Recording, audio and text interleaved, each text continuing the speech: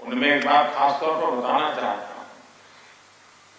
कुछ ही समय पहले भारत ने अपनी आज़ादी के 75 साल पूरे किए।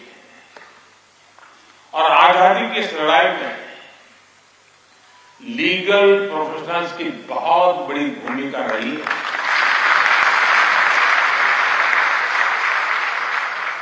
आज़ादी की लड़ाई में अनेकों वकीलों ने चलती हुई वकालत छोड़ करके राष्ट्रीय आंदोलन का रास्ता चुना था। हमारे पूज्य राष्ट्रपिता महात्मा गांधी, हमारे संविधान के मुख्य शिल्पी बाबा साहब आम्बेडकर देश के पहले राष्ट्रपति डॉक्टर राजेंद्र प्रसाद, देश के पहले प्रधानमंत्री पंडित जवाहरलाल नेहरू देश के पहले गृह मंत्री सरदार वल्लभ भाई पटेल, आज़ादी के समय देश को दिशा देने वाले लोकमान्य तिलक हो, वीर सावरकर हो, ऐसे अनेक महान व्यक्तित्व भी वकील ही थे।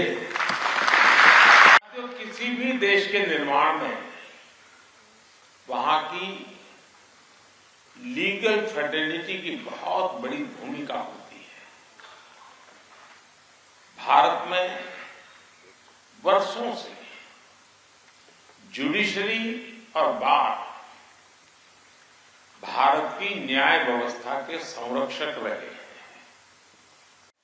जब भारत कई ऐतिहासिक निर्णयों का साक्षी बना, एक दिन पहले ही भारत की संसद ने लोकसभा और विधानसभाओं में महिलाओं को 33 परसेंट आरक्षण देने का कानून पास किया।